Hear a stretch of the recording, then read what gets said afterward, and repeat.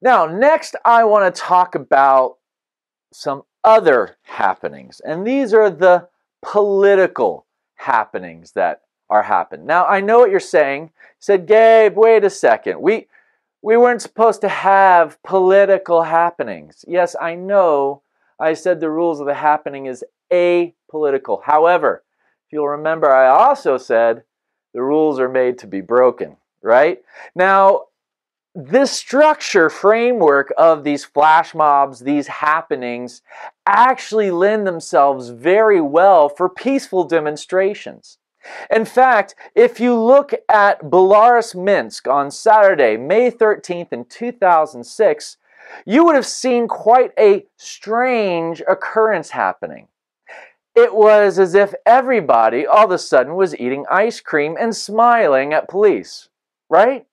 How weird is that? Yes, in fact, the um, what basically happened is that the students they gathered to create this happening in order to test the boundaries of an authoritarian state of the former Soviet bloc in Belarus.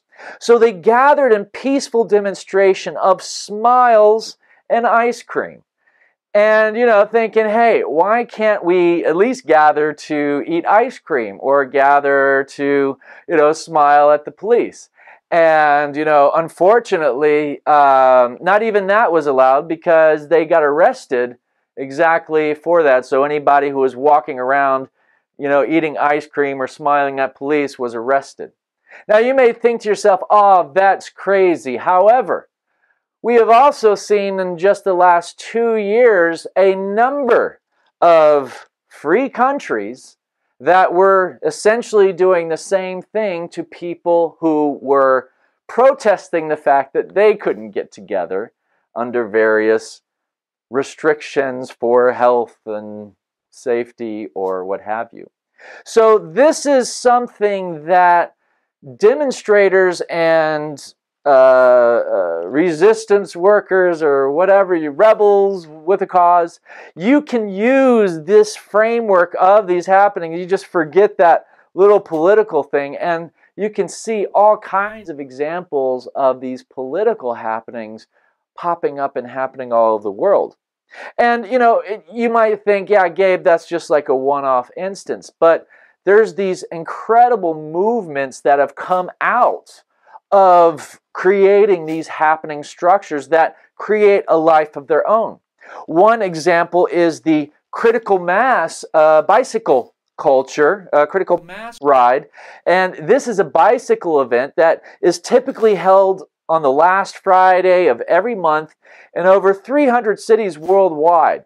Now, it's a leaderless organization, and basically, what people do is they get together hundreds of people get together on their bikes, sometimes rollerblades or even unicycles, and they ride through the city together. And it's one giant peloton, as they say at the Tour de France, right? It's just one giant group of cyclists, you know, with all these lights and stuff, riding through the city together. And it is really quite spectacular, quite amazing. If you've never joined in one, see if there's a critical mass in a city near you, which you can go join. Now, here we see again, it looks as spontaneous as possible, it's shortened duration, you know, free from mass consumption, free, it's focused on mass spontaneous participation, the location doesn't matter. Everything, all of these boxes are ticked, ticked except for political, right? So, do we say it's not a happening? Well, I say, hey, eight out of nine ain't bad, right? right?